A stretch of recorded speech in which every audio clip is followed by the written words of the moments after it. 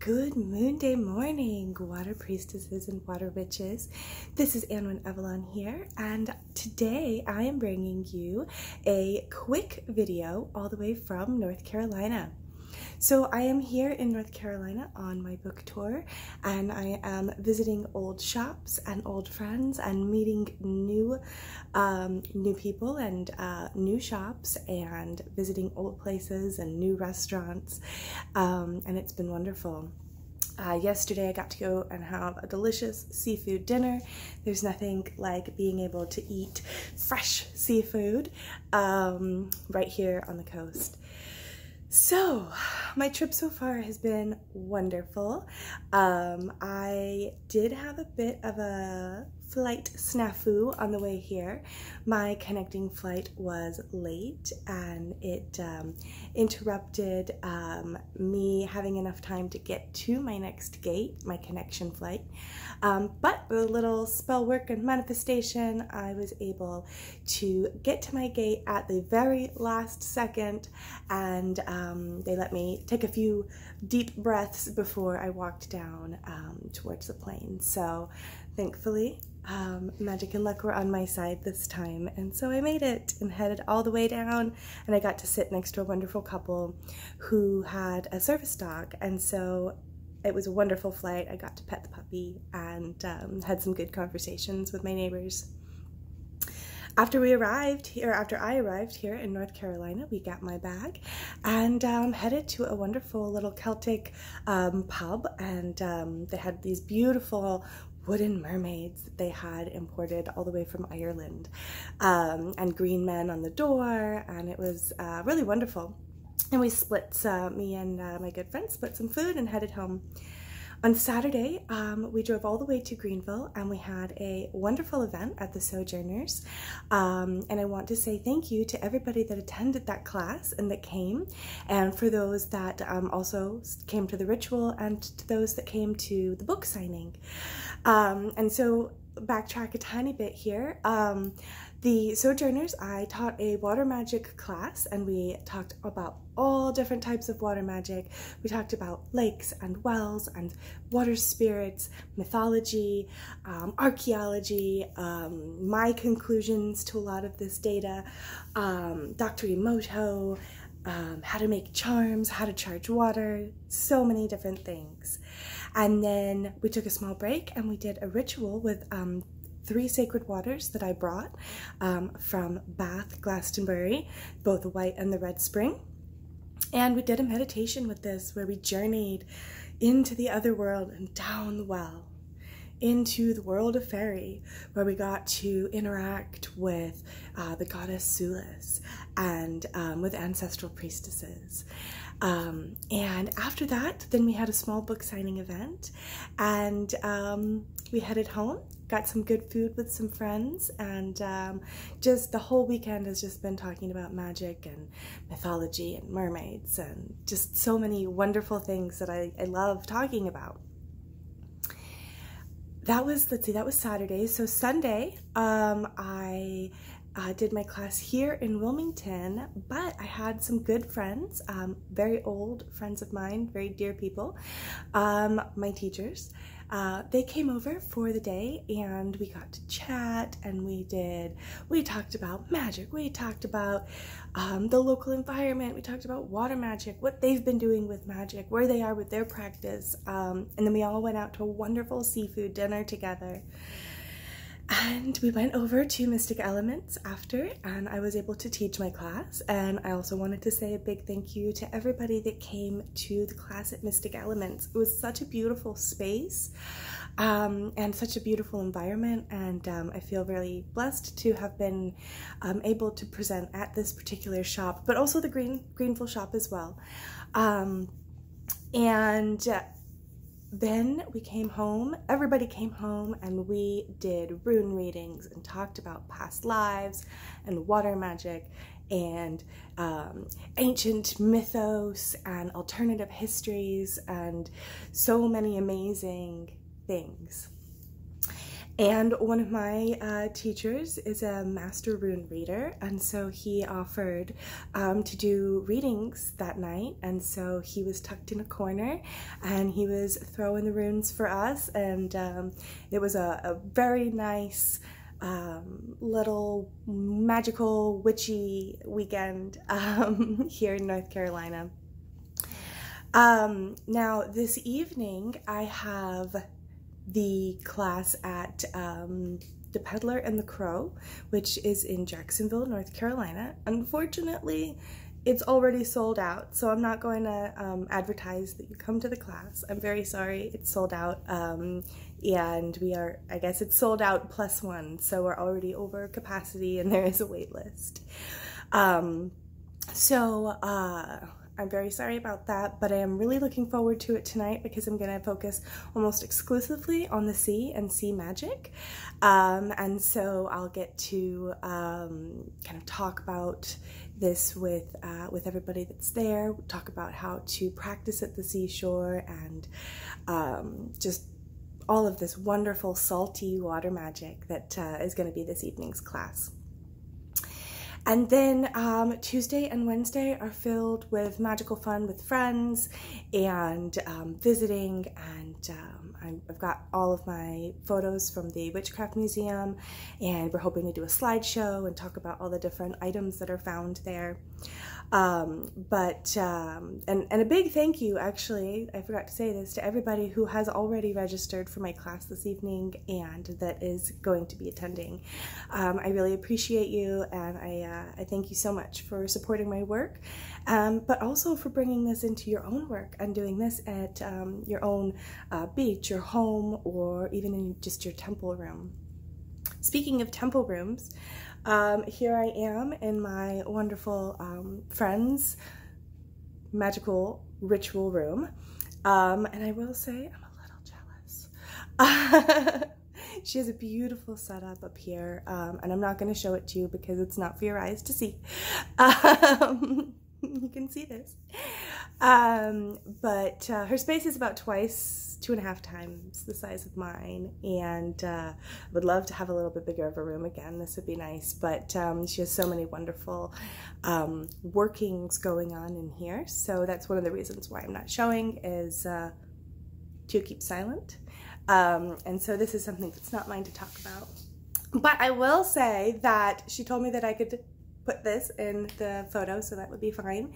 And um, this is a wonderful herb rack that she has up here, um, and I, I, adore it. It's beautiful. Um, I might post some pictures of it on Instagram today for you to see. so, I'd like to share what the message is I feel for from water this week. And I believe that it's a message about protection um, and protection magic because that's been a little bit of a theme, an underlying current that's been running through um, this particular trip. And protection, of course, is to shield your energies or your physical body or um, your spiritual body from any incoming aggressive energy, psychic vampirism, um, just negative juju, um, even you know someone that you're really close to, like uh, your friend or your spouse that might be having a very bad day, they can often have some of that energy rub off on you, and so protection magic is is just important for maintenance, especially in that particular type of case. But when you're traveling, it's also really important to um, protect yourself. And um, I I carry a travel charm that I made out of um, a clam, an oyster shell. It's an oyster shell. And um, I carry that with me every time I travel, and it uh, has served me well.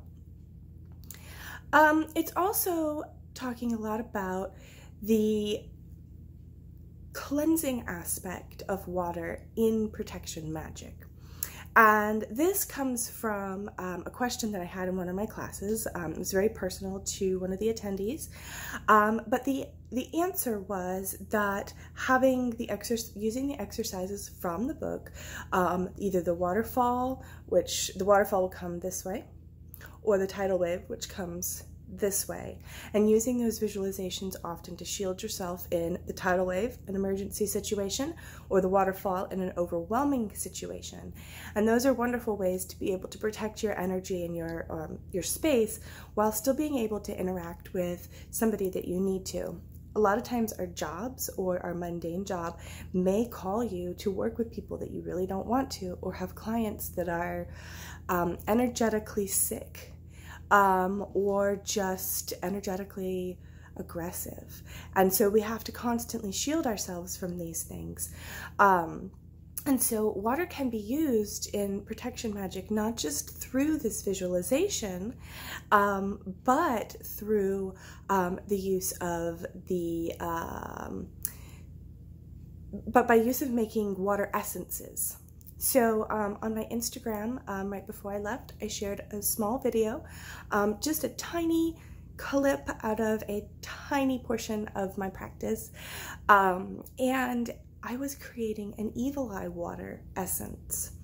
And while you should always protect yourself from the evil eye, you should probably wear a talisman, keep them in your homes, and continually charge them. Um, when I'm traveling or even for just daily maintenance, it's really good to kind of have something that will give you a daily boost, almost like a recharge to rechargeable batteries. And so what I did is I placed my glass evil eye pendant into a bowl and then I added in some holy water, sacred water. I believe that this water was this I think this is water from Bath. Um, which yes, it was. It was water from Bath, um, which further correlates with Sulis because one of the um, beliefs that the um, meaning of her name is um, eye or eye of the sun. And so um, having that eye connection with her and using that evil eye to create the water um, as a daily maintenance spray. And so now I have a small bottle of water that I can use to spray my physical body and help to kind of keep that um, evil eye energy at bay and to keep my aura clean. So if you're interested in seeing that, um, head on over to my Instagram and you can see the clip and read down in the comments. There's instructions on how to do it. Um, so anyways, um, I am going to go ahead and finish up this uh, video. It was just supposed to be real quick. I just wanted to say hello, check in. I've had a very, very busy weekend, but it's been wonderful. And I cannot wait to continue this week as I get to now kind of move into a period of personal interaction with um, old friends and old students and new students and um, I still would like to spend some time um, near the local beach here um, because truth be told there has not been a moment for me to go. Um, this has been the first time I've even had a break since I stepped foot off the airplane. So um, I do believe that tomorrow is going to be the day. Um, and I look forward to spending my time on the beach and Then the last thing I wanted to share is if you are in the South and you happen to be heading down to Georgia or live in Georgia or are in driving distance of Georgia, um, I will be teaching Friday at 5 o'clock um, on the cults of the sacred springs and the holy wells and that will be at Mystic South in Georgia or in Atlanta, Georgia. If you're interested to know more, just Google Mystic South and it will come up and you'll be able to find the extensive list of classes and workshops and academic papers that are being presented. the last thing that I want to end with, and then I'm going to officially stop the video, even though I think I said that like two minutes ago, um, is that I would like to tell you that there's so much knowledge and so much importance in mythology and in folklore. And this is one of the reasons why I focus so heavily on the archaeological digs, the anthropological data, the uh, folk lore and folk magic um, recordings, and even the old ancient texts, is because the there isn't a water priestess or water witch lineage because it's been broken. Um, there absolutely were water priestesses and water witches in the past, but that line has been broken through time by aggressive masculine cultures taking over and destroying. So when you're going through your work, finding the mythos of the spirits that you're working with, finding the folklore of the item or the shell that you're working with can give you clues into your own practice. And so don't discount any of the mythologies or folklore because they are details from somebody else's life that they have left in writing or have been recorded by someone else to give you clues into your own practice and how to practice and how the ancient people practiced. So while you may love to hear stories about mermaids and mythologies about mermaids, the important thing to remember is they're puzzles. They're little puzzle pieces to a greater practice. And so if you can pull out one gem from each story, then you can take it um, and, and use it in your craft. And I think that I'll do an entire video on this at another time. But I just wanted to say thank you so much for joining me and listening to my video. I hope that you have a wonderful moon day morning and I will see you next time.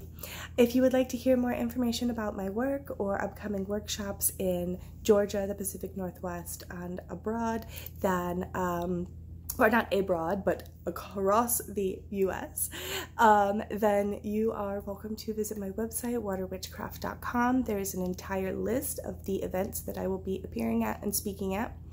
Um, and if you're interested in learning with me, the Water Witchcraft website does have some classes, but you can head on over to waterpriestess.com and sign up for the newsletter to be the first one to know, or one of the first ones to know, when my water course, my Water Priestess course, is launching. So I hope that you have a wonderful, wonderful week, and thank you for joining me. Bye bye. May the water spirits bless all you do.